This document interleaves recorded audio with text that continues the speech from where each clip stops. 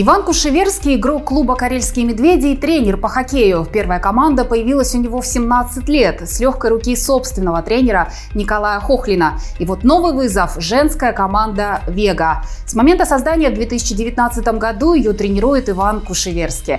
Какие женские качества помогают добиваться успеха в хоккее? И что важнее в этом виде спорта – руки или ноги? Об этом не только рассказывает Иван Кушеверский, новый герой проекта «Современники». Марина! Марина, что вы делаете? Марина, а что вы сейчас делаете? Я вас, наверное, огорчу, или...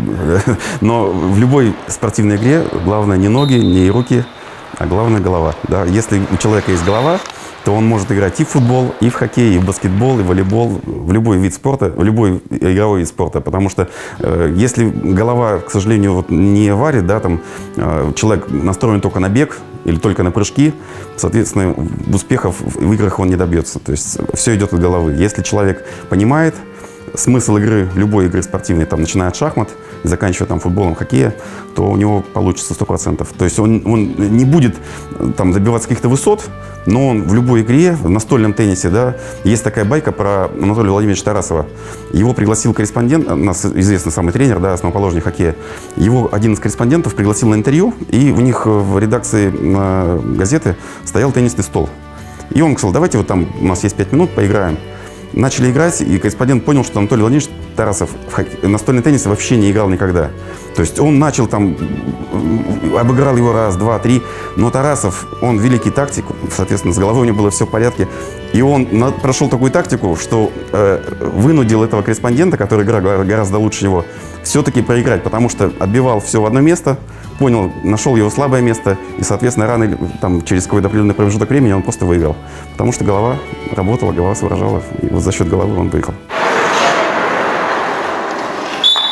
Я поступил на первый курс, мне было, соответственно, наверное, 17 лет, и я в 17 лет стал тренером. Там, и насколько я знаю, там можно э, быть педагогом или тренером с 18 лет, да, но тогда это 92-93 год, там законы менялись очень быстро, не исполнялись не так четко, но вот тогда я в 17 лет я начал тренировать. У меня отец, он тоже педагог, он э, всю жизнь почти работал э, преподавателем физкультуры и тренером по борьбе. Ну, вот, скажем так, я думаю, что основной мотив, э, чтобы пойти по стопам отца, шел не от отца, а вот именно от тренера, от Николая Игоревича. Поэтому он мой крестный отец в педагогике, я думаю, в спортивной точно.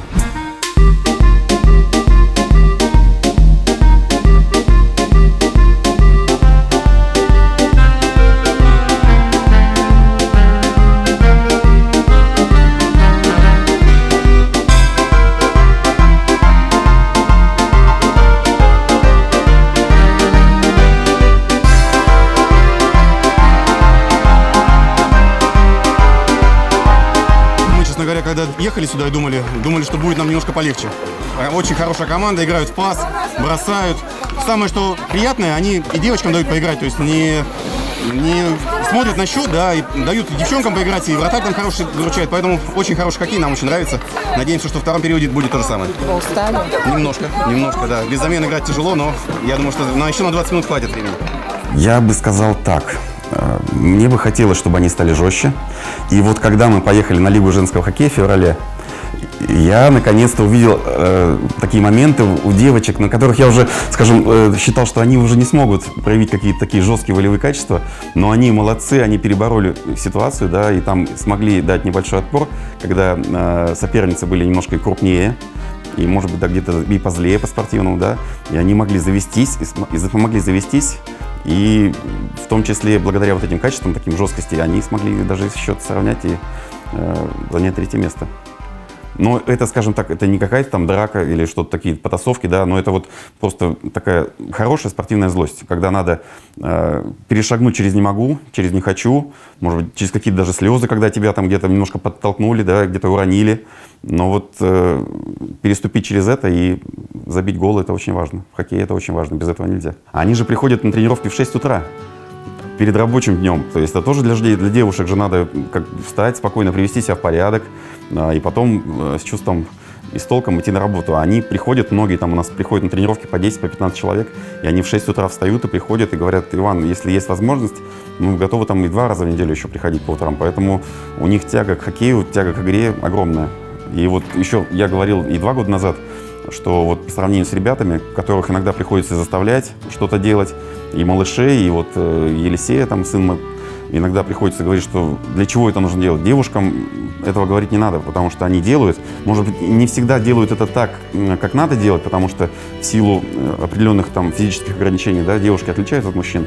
Но вот в плане самоотдачи, как бы, они молодцы, никаких вопросов нет. В прошлом году я учился в Питере, есть такая программа очень хорошая «Добрый лед». И, соответственно, как писал работу по женскому хоккею, там, по истории хоккея. А, некоторые вопросы там э, физиологически тоже исследовал. Считается, что женщины, они более выносливы, чем мужчины. То есть вот они способны выполнять определенную работу дольше, чем мужчины. Мужчины быстро, э, в том числе эмоционально устают, и, соответственно, у них качество работы теряется. Женщины в этом плане, они могут более долго продолжительную работу выполнять. И вот у нас тренировки, э, мужчины тренируются сейчас в основном час, там час 15. У нас из-за того, что у нас только одна тренировка, мы тренируемся полтора часа. И, соответственно, они вот эти полтора часа, они выдерживают полностью и тренируются без потери, скажем так, качества работы. Мне кажется, здесь задача, не задача, а цель тренера, может быть, даже его главная цель, да, чтобы человек, который пришел в его вид спорта, чтобы он его полюбил. Пусть он не станет там хоккеистом, но чтобы он его полюбил, и он понял, что это вид спорта интересный. Э, и хоккей, вот мне кажется, один из таких видов спорта, где успеха определенно может добиться любой. И маленький, и большой, и быстрый, и медленный.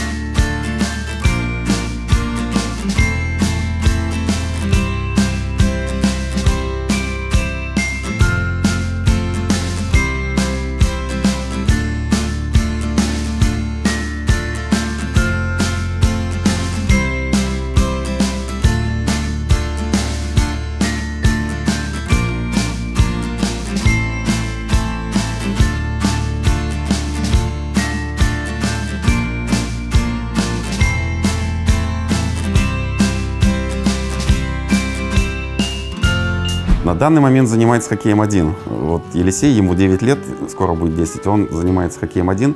Э, подрастает Миша, Миша ему э, исполнилось 3 годика. Дочке 19 лет, но она несколько тренировок посетила нашей женской команды, но как-то ее это не заинтересовало. И она уже в таком возрасте была, что у нее были немножко другие интересы, там уже не спорт, она больше склонна к режиссерству, к операторской деятельности, она там, снимает небольшие фильмы, поэтому вот она в хоккее наверное, скажем так, равнодушны. Раньше мы хоть смотрели матчи хоккейные только с Елисеем. Но вот сейчас Елисей уехал на неделю в Астрахань на золотую шайбу, на финал соревнований российских.